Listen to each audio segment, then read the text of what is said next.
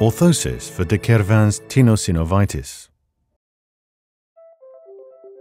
Here, we will demonstrate how to fabricate a radial gutter immobilization orthosis for patients with a diagnosis of de Quervain's tenosynovitis, a tendonitis of the extensor tendons of the first dorsal compartment. Cut two strips of Orficast 6 cm wide.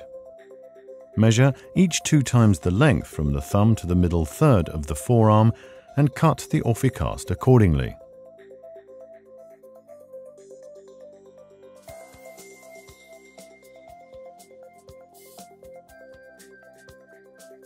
Heat both pieces at the same time. Press the two pieces onto each other, creating one thicker strip.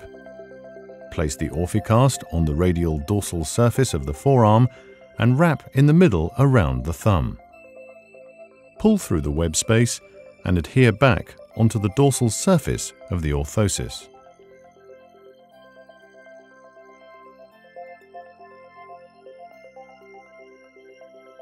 Hold the thumb in a functional position while avoiding any radial slope.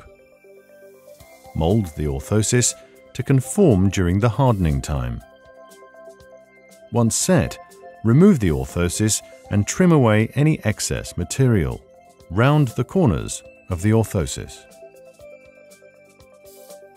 Heat the dorsal part of the orthosis with a heat gun.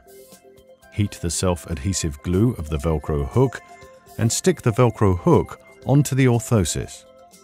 Cut a wide strip of Velcro loop and strap the orthosis onto the forearm.